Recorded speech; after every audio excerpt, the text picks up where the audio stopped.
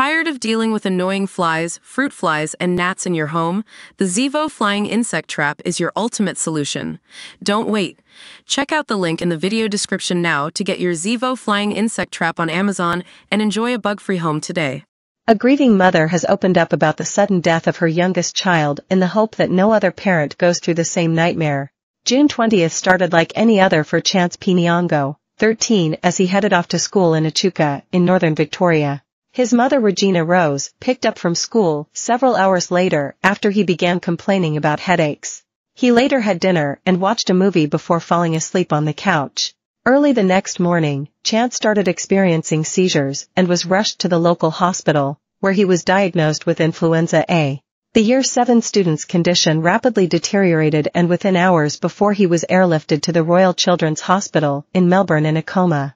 That night, his family were told that Chance had contracted acute necrotizing encephalitis, a rare brain disease that occurs following a viral infection, and that the scans showed no brain activity. Chance never regained consciousness and died six days later surrounded by loved ones. Almost two months on, Ms. Rose is struggling with the loss of Chance. It's still sinking in, it still hasn't, she told 7 News.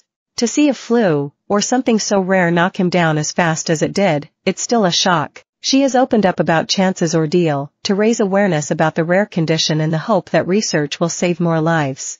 I could tell immediately something was wrong, Ms. Rose recalled. There was a big difference from looking at him that morning to looking at him at lunchtime. I didn't know much about influenza A, but it didn't explain the seizures. I didn't understand it. The youngest of five children, Chance had recently become an uncle and adored his nephews. He loved kids and babies, his mother recalled. He got along with everyone. A fundraiser set up to help with ambulance and funeral costs to ease the financial burden on Chance's family described the teen as an angel who lit up every room he walked into. He had a huge heart and would always sense when others were sad and go out of his way to cheer them up. It didn't matter if you were young or old, if he sensed you were down, he was going to try his best to make you smile. Super popular at school he would entertain all of his classmates and teachers said that whenever he won awards the other kids would cheer him on as he did a dab, and then every kid wanted to give him a high five as he walked past. He would look out for the random kid at camp and start a conversation and decide, we are going to be friends today. He never liked anyone to be left out.